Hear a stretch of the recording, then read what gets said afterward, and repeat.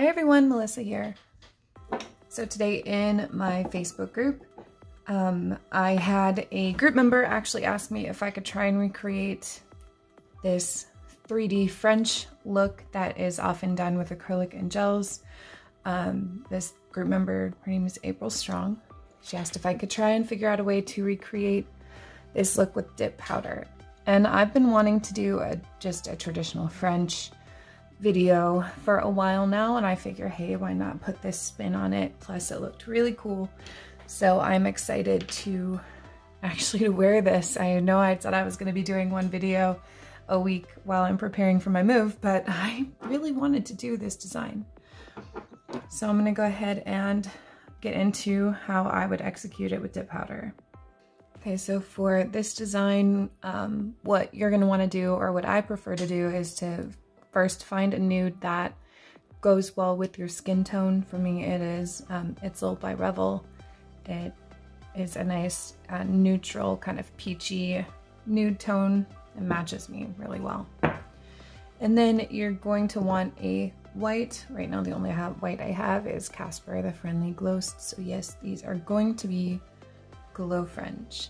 And I'm actually going to be using just a little bit of Perfect just because this white is very opaque and I want to make sure that I get the tips nice and opaque. So I'll be doing one dip of this and then the rest of this.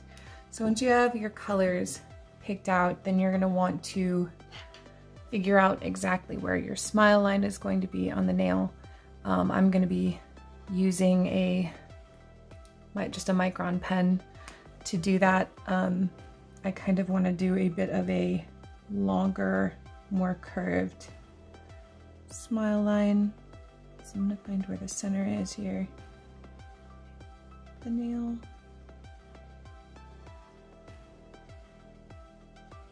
And then I want where I want the smile line to end on the nail. Make sure it's matched and even on both sides. And then I'm just gonna make like a gentle curve here.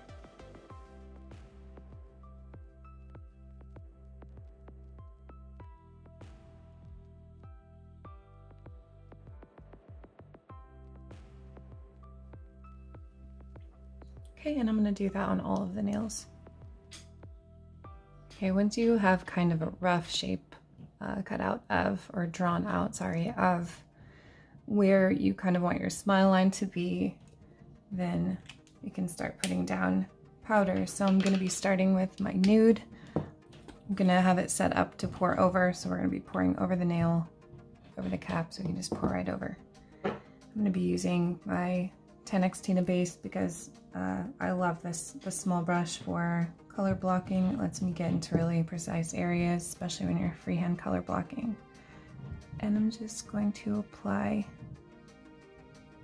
the base here and try and get it within that smile line area. It doesn't have to be perfect because there will be cleanup that happens after to straighten that out.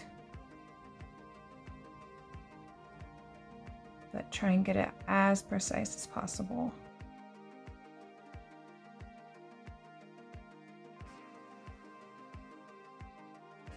All right, I'm gonna go around and do that on all of the nails. And I'm gonna do a couple more layers on each nail. I wanna build up um, a good little bit because we're gonna do a bit of a 3D effect here, so we want there to be a ridge. So we'll do enough to build that up. Okay, first I'm just gonna grab my um, scraper edge of my cuticle pusher. Oop, don't push it too much. I'm trying to just kind of like push it a little bit so it's kind of sort of like a wall. Don't know. That makes sense. So that there's a, a flat edge here. It's not gonna push a lot, but anything helps. Okay, now I'm gonna activate these so that this layer gets all nice and hardened.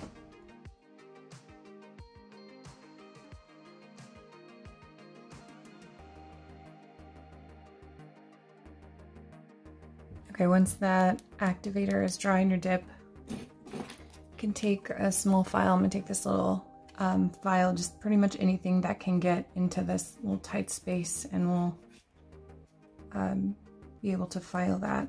So I'm just filing along the edge here to kind of straighten out and flatten the edge of the nude color.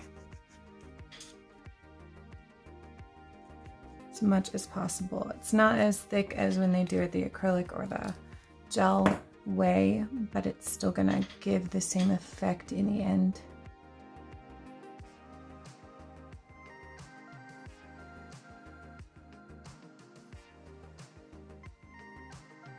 You can use this time while you're filing to try and make sure that your smile line is even and, and as symmetrical as possible. It's a little difficult because you can't really you know, see it very well, but you can get a pretty good idea. Okay, now the moment of truth, I guess. It's where you can really see how straight you've managed to file all of this. Um, I'm going to be using a black Micron pen for this part. You can use probably black acrylic paint, you can use black gel polish, um, but this seems to be the easiest way that I could think of to do this, but we're just gonna go along kind of that uh, wall that we created. It's not really a wall, it's kind of, I don't know, it's pretty small, but it exists. And we're going to draw a black line along it, making sure that the black goes all the way up to the top. Um, if it goes too high up, that's okay. Anything that is too high will get filed off when we file the nails down. But you want to make sure that it covers all the way up so that it can be seen after you file down.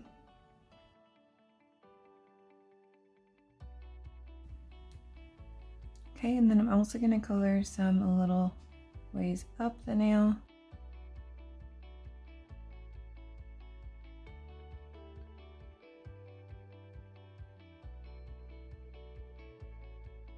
Okay, now we have all of the black down. This looks crazy right now, but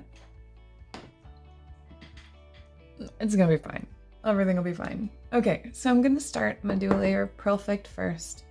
Like I said, I want the tips to not have any see-through spots or milky looking spots, and Perfect gives a nice coverage in one coat. So I'm gonna do my first coat of white with Perfect.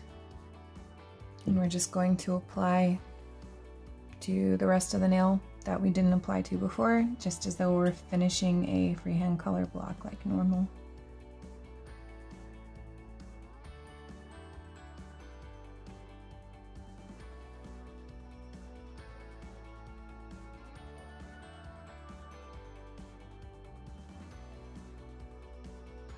All right, I'm gonna do a couple more coats with this white just until the white is about the same um, height or thickness as the nude is. Alright, once you're satisfied that the layers are built up pretty level, you can go ahead and activate and then we will get these bad boys filed down and looking a little less crazy, hopefully.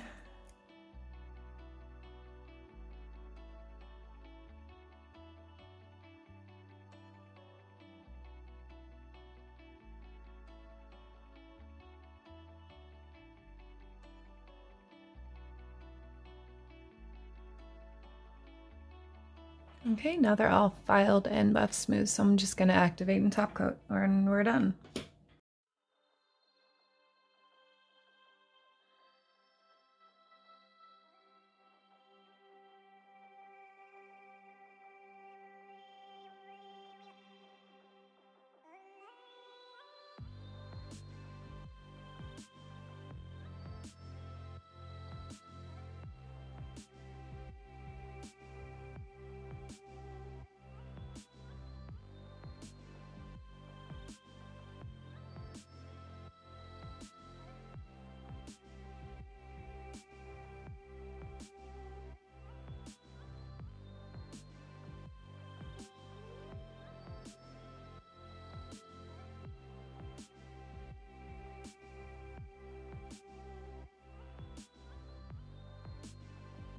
Okay, and there is the finished product. Thank you so much, April, for the request. I had a lot of fun doing these. Um, it was a really fun technique to do. Um, if uh, anybody else has any requests or things they'd like me to try out, feel free to join my Facebook group. I do have that linked below in the description. Um, everyone else, feel free to let me know what you think, if you would have added anything or done anything differently. And I will see you next time.